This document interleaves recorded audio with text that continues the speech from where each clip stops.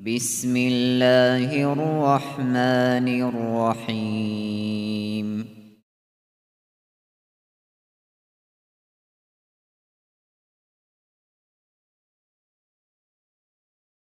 Как должен работать имам? Урок третий. الحمد لله رب العالمين والصلاة والسلام على خير خلقه وأشرف المرسلين محمد وعلى آله وصحبه أجمعين أما بعد Мы остановились на том, что Аллах дает людям в соответствии с их старанием. Потому что Аллах в суре Аль-Исра говорит, что Он дает всем в этом мире, мусульманам и немусульманам, согласно их стараниям, и это подобно накрытому столу, с которого каждый берет еду. На самом деле, если имам делает работу, то у него всегда найдутся противники, потому что это известно из истории пророков, миром всем, имамов, ученых, шейхов. Это происходит потому, что пророки миром всем и их последователи выводят людей из мрака невежества и неверия к свету веры, и тогда невежды начинают сопротивляться этому, согласно их невежеству.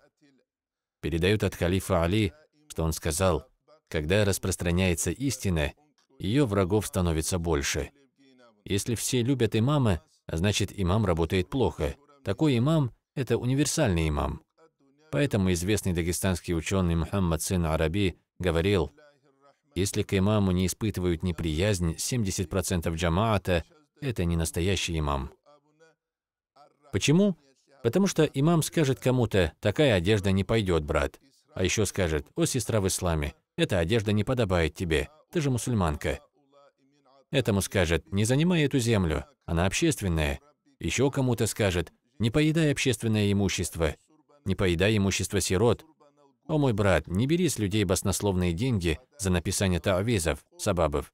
Еще кому-то скажет, оставь это, брат, это запретное для нас дело. Скажите, такого имама будут любить? Не будут. Поэтому имам Аль-Газали пишет в Ихья, что ближе к судному дню люди будут любить падаль больше, чем тех, кто отвращает от порицаемого и побуждает к одобряемому. И вот теперь подумайте сами. Если такое положение, если есть те, кто хочет призывать, разве они смогут избежать трудностей и испытаний? Не смогут. У нас есть много вещей, которые мы совершаем, ссылаясь на маслаха, какую-то мнимую пользу. Имаму Ахмаду не пришлось бы терпеть столько ударов плетью, если бы он применил все наши маслаха. Разве его ученик умер бы, и сам имам Ахмад разве лежал бы при смерти, если бы он применял эти маслаха? Ему было достаточно не произносить частицу «не», всего лишь одну частицу. Он должен был сказать «Коран сотворен». Но он твердил «Коран не сотворен». Чем больше человек боится Аллаха, тем больше он понимает, где есть истинная маслаха, а где его нет. Калиф Али, да будет доволен им Аллах, сказал, когда люди истинно молчат о порицаемом, люди заблуждения полагают, что они на истинном пути. Поэтому сегодня то, что люди привыкли совершать нечто порицаемое, будь то адаты или что-то еще, это результат того, что мы изначально молчали, а эти мерзости разрослись и укрепились. И мы, и имамы, обладатели знаний, не можем в одном месте гасить пожар, а в другом месте его разжигать. Например, имам говорит, мол, нужно воевать и запрещать адаты. На самом деле этого запретами не добьешься. Нужно воспитывать людей. Но вот он как герой говорит о порицаемых адатах и рассказывает, что пророк, саллаллаху алейхи вассалям, отдал Фатиму за Али, да будет доволен ими обоими Аллах, и в его доме не было ничего, то есть он был беден. И одновременно с этим люди узнают, что у этого имама есть банкетный зал. Получается, что он призывает бороться с адатами, а сам владеет банкетным залом. И тогда его джамаат окажется между его проповедью и этим банкетным залом. Тогда люди говорят, мол, на словах одно, а в делах другое. Кто-то может сказать, что, мол, эти заработанные деньги можно использовать на благо ислама. На нас лежит обязанность следовать исламу, но нет обязанности кормить ислам. Аллах сам накормит ислам. Поэтому не надо пытаться взваливать эту ношу на себя. Аллах кормит все сотворенное. Разве Он оставит нас без пропитания? Нет, не оставит. Абдуль-Муталиб пошел к Абрахе, который хотел захватить Каабу и угнал 70 его верблюдов. Он пришел и потребовал вернуть эти 70 верблюдов. Абраха ответил, мол, я думал, ты уважаемый лидер курайшитов. И пришел, беспокоясь о Каабе и стремясь защитить ее, а ты говоришь только о верблюдах. Абдуль-Муталиб ответил, о Каабе позаботится Господь Каабы, а я хозяин верблюдов, и поэтому я говорю об этом. Мы должны бояться за то, что касается нас. Должны отвечать за нас самих, а не переживать, кто накормит мечети и мадресе. Мы стали бояться нехватки денег. В 90-е годы турки финансировали одно учебное заведение, и руководитель этого заведения просил денег на то и на сё. Один из турков провел пальцем по пыльному подоконнику и, показывая пыльный палец, спросил, «Разве для этого тоже нужны деньги?» Нет стыда в том, чтобы одеваться бедно, но стыд в том, чтобы одеваться в неопрятную одежду. Но нам надо понять, что нам нужна внутренняя красота, красота души, а не внешняя красота. Нам нельзя уподобляться украшенной невесте. И мы должны понять слова халифа Али о том, что молчание людей истины о порицаемом стало причиной того, что люди заблуждения посчитали себя на истинном пути. За последние сто лет в Дагестане появилось очень много заблуждений, которых не было раньше в истории. Это произошло по причине того, что мы молчали об этом и не призывали к истине. Имамы искали книги с проповедями, особенно в начале была популярна книга «Нусхатуль Маджлис», потом и другие появились. Но имам сам должен собирать материал для проповедей из разных книг. Еще имамы стали петь мавлиды, но для этого не нужны знания. Пусть мавлиды читают те, кто оставил пение музыки, раскаялся и оставил прежние грехи. Я не видел ни разу, чтобы в Шаме ученые пели мавлиды. Это не потому, что они отрицают мавлиды, а потому что у них просто не остается времени на пение мавлидов. Они не написали бы столько книг и не сделали бы столько благого для дауата, если бы отвлеклись от своих обязанностей. Нужно доносить до людей знания Корана. Как и когда, какой аят был неспослан, кто записывал, какая структура Корана и многое другое. Вот это то, что должны делать ученые люди. Второе – донести до людей историю ислама. Как появились масхабы, когда были имамы, как они жили, как они старались ради ислама.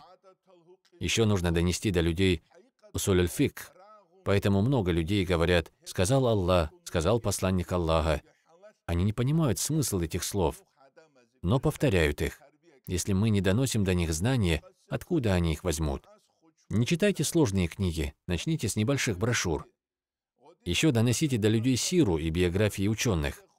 Вот это будет мавлид имамов.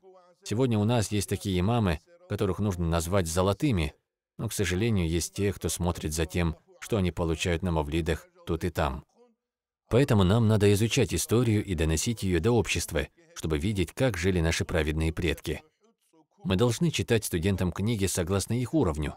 Не надо читать им большие сложные книги, иначе этот студент завтра станет болтуном, от которого нет пользы, а только один вред.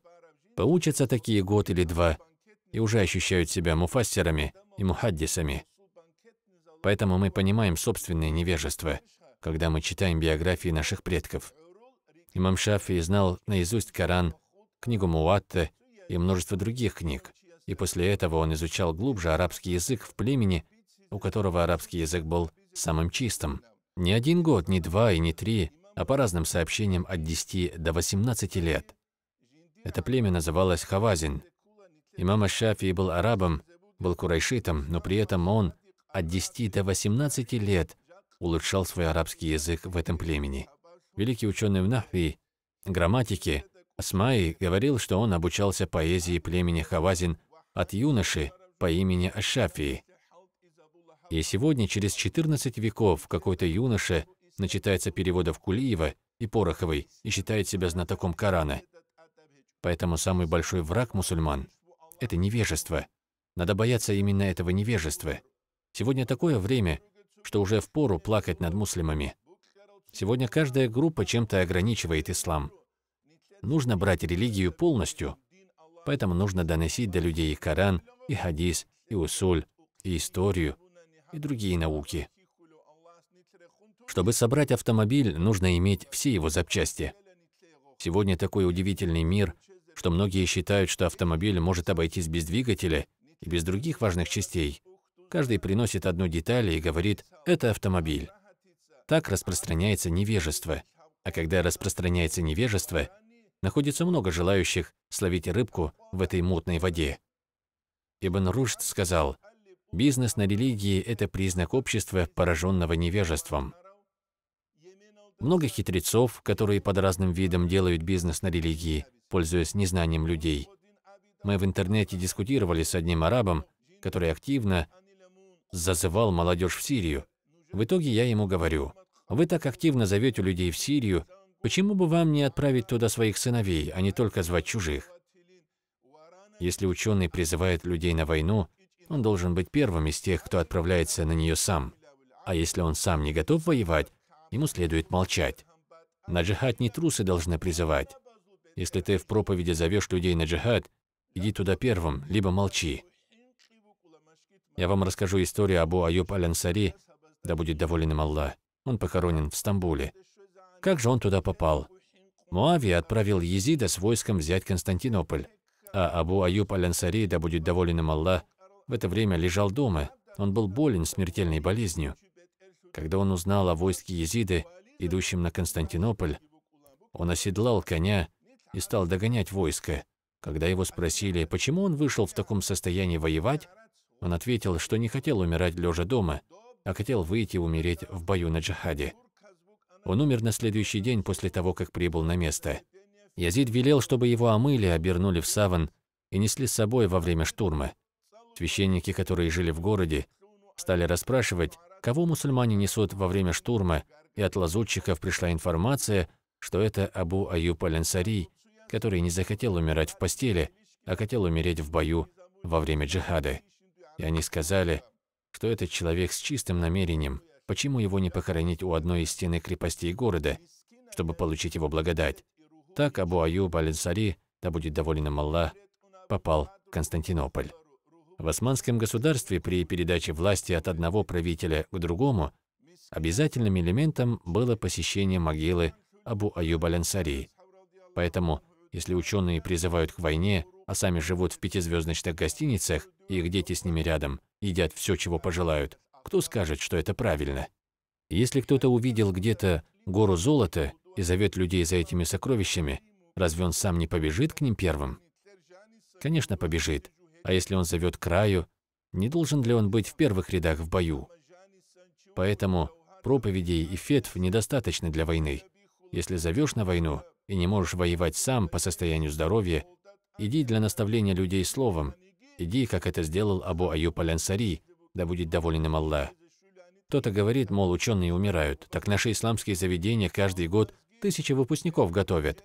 Если ученый к чему-то призывает, он должен сам быть первым в этом, особенно когда речь идет о джихаде. Это результат того, что в нашем обществе победило невежество. Почему так произошло?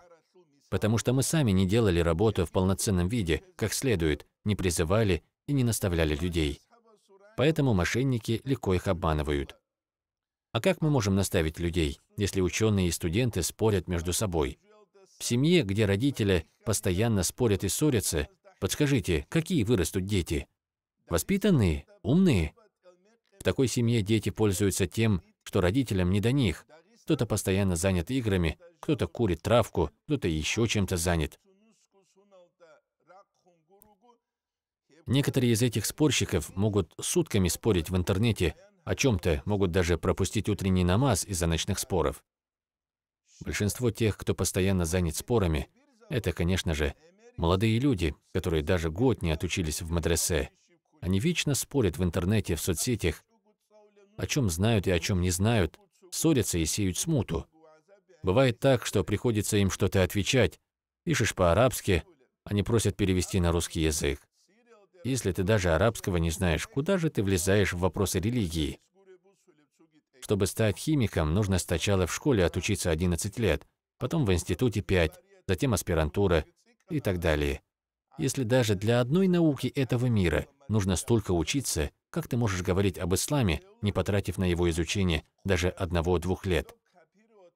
Каждый сам себя считает знающим, и эта болезнь поразила умму. Мухаммад Саид Рамазан Аль-Буты говорил, надписи на голове «Аллаху Акбар» не приводят в ислам. То есть он имел в виду, что в религию людей приводит не то, что кто-то повязал на голову ленту с надписью «Аллаху Акбар». Каждый пишет свои надписи, а на самом деле это «Аллаху Акбар» в первую очередь должно быть в сердце. Ты действуешь в соответствии с ним и ставишь его своей целью.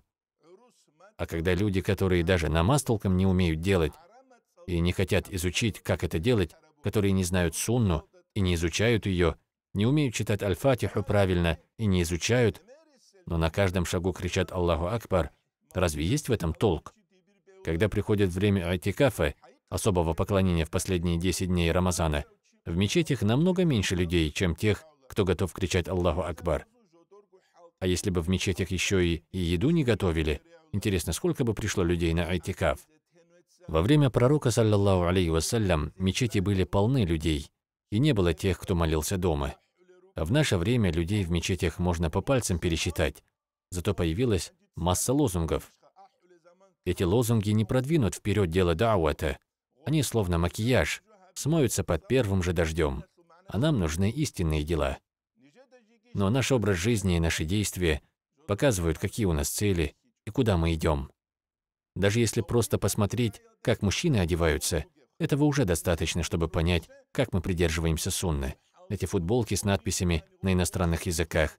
Люди носят их, часто не знают смысла этих надписей. Если бы мусульмане прошлого, даже не поколение сподвижников, а те, кто жил намного позже них, увидели бы нас, что бы они сказали о нас? Мы как-то были в одном ауле. Мы в разговоре спросили, сколько человек учится в мадресе. Нам ответили, что 15-20 человек. Тогда мы решили узнать, сколько детей ходит в школу, и узнали, что в этой школе учатся более тысячи детей. Возникает вопрос, если в школе учится более тысячи детей, а в мадресе 15-20, будет ли толк в том, чтобы просто кричать Аллаху Акбар? Что это нам даст? Ничего не даст. Представьте, что вместо 30-40 игроков в команде два игрока, и те оба вратаря. Они вышли на поле и кто-то, болея за этих двух, и кричит Аллаху Акбар. Кто-то со стороны скажет, уже не знаю, кто сошел с ума, те двое на поле или эти болельщики. Ислам – это религия знаний. Первый аят, который был неспослан, это аят «Читай с именем Господа твоего, который сотворил тебя». Верно ведь? Ведь нам никто не запрещает получать знания. Так же и с одеждой женщин. Придешь куда-то с лекцией, а там три-четыре женщины покрытые, остальные с непокрытой головой. Никто ведь не запрещает нам это делать. Если бы запрещали, эти три-четыре тоже были бы непокрытые.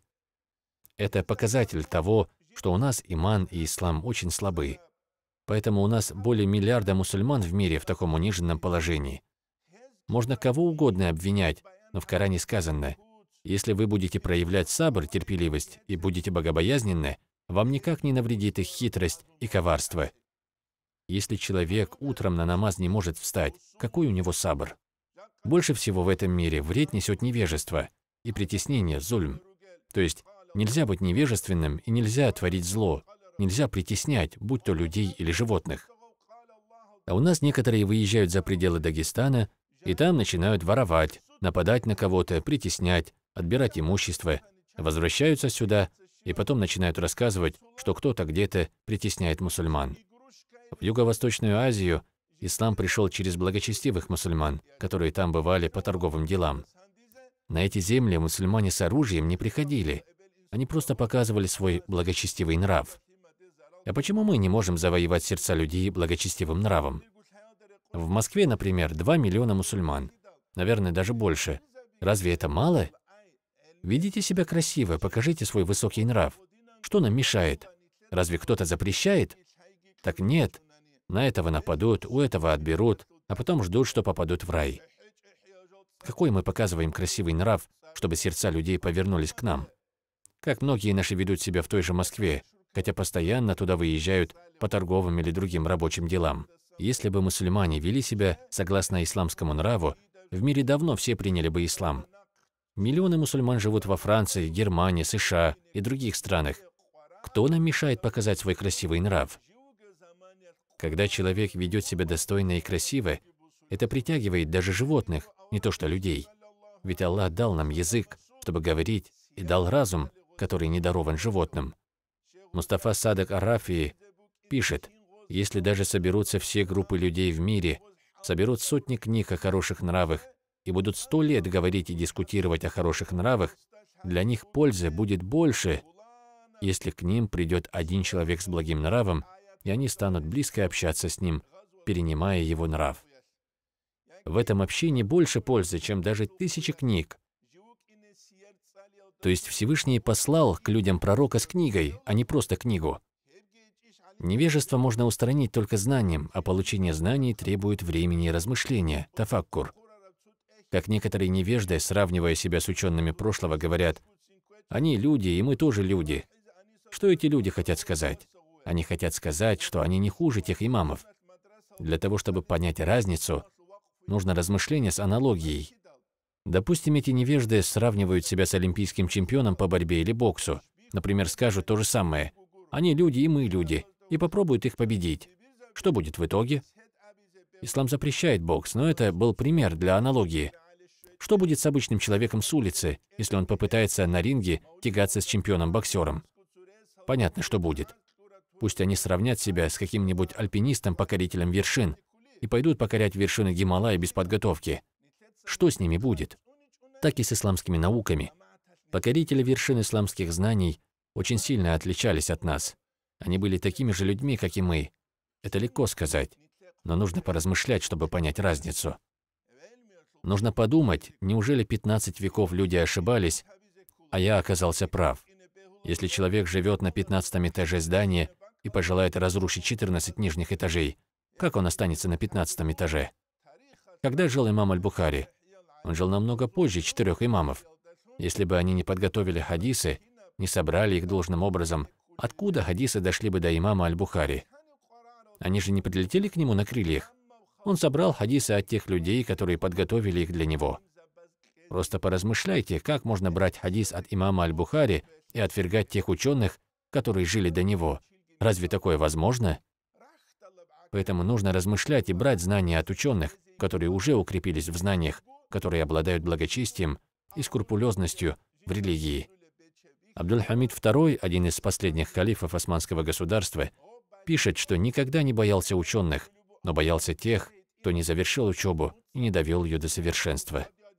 Поэтому имам Аль-Газали пишет в Ихья, что одно из наихудших упущений человека, когда он какое-то дело не довел до совершенства, имея такую возможность. Поэтому знание нужно брать полностью и до конца, до какого-то определенного уровня. Понятно, что все науки не изучить, и знание это океан, но моряк должен знать, как ходить в море. Мы вам для примера расскажем историю Малана Средина. Его спросили, как сопровождать носилки с джаназа, с телом усопшего. Он ответил, нет разницы, где идти, если ты не на носилках. Мы не боимся за того, кто вышел в море, переплыл его и достиг другого берега, то есть какого-то уровня знаний. Мы не боимся так за тех, кто еще не вошел в воду и стоит на берегу. Но тот, кто вошел в воду и не причалил к берегу, он в опасности. От человека, который не достиг какого-то уровня знаний, не дочитал до конца с учителем какую-то книгу, исходит опасность. Не бросайте знания, доведите их до какого-то логического конца, иначе вы будете нести вред религии, при этом полагая, что приносите пользу. Посмотрите, сколько в Египте докторов и выпускников Аль-Азхара и других учебных заведений. Египет при этом среди всех арабских стран считается одним из самых бедных стран, пока не разрушили Сирию и другие государства региона. Несмотря на то, что в Египте были ученые и выпускники исламских учебных заведений, невежество там очень сильно распространено. Почему так? Потому что духовные знания и реальная жизнь мало связаны. Ученые должны вести себя как ученые, они должны одеваться подобающим образом, а не ходить сегодня в исламской одежде, завтра в костюме с галстуком, а послезавтра в футболке или спортивном костюме. Я не говорю, что сразу надеть челму, опустить длинную бороду, взять в руки трость и так выполнять сонну. Это люди у нас неправильно понимают. Такого человека начинают возвышать и почитать. Кто-то подойдет руку целовать, кто-то посчитает, что это какой-то шейх, кто-то подвезет бесплатно. Если призывающий к исламу разумно оценит такое отношение людей, он поймет, что это возвеличивание и излишнее внимание совсем не то, что ему нужно. он оденется более скромно и будет вести работу среди людей, чтобы донести до них правильное понимание. У каждого из нас есть большой круг родственников, друзей и знакомых. Если научить их детей правильно совершать намаз, разве это не есть большое дело? Работы очень много для того, кто хочет помогать людям. А у нас многие хотят не работы, а должности. Если бы наши праведные предки желали должностей, а не работали на благо ислама, до нас ничего не дошло бы. Раньше чиновников не называли руководителями, а называли служителями, так как они на самом деле служили своему народу.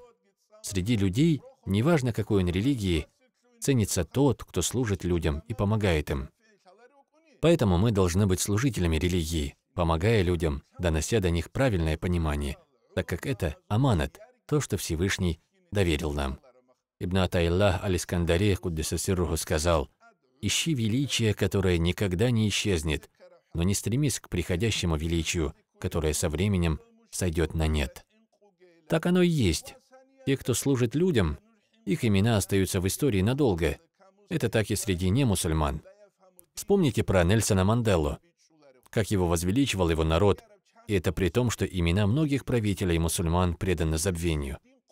Ислам – это великое благо, за которое мы должны непрестанно благодарить Аллаха. Мусульманин перед Аллахом, несомненно, в тысячи раз выше кафира, но надо понимать, что если правитель-мусульманин притесняет свой народ, а правитель кафир не притесняет, то власть кафира может продлиться дольше из-за его справедливости и милости к своему народу. Имамы – это люди, которые подобны правителям над людьми, поэтому имамы должны любить людей и относиться к ним милосердно. На этом мы завершаем наш урок. Я молю Аллаха дать нам знание и правильное понимание. И в заключение я воздаю хвалу Аллаху Господу миров, мир и благословение нашему пророку Мухаммаду, его семье и сподвижникам. Аминь.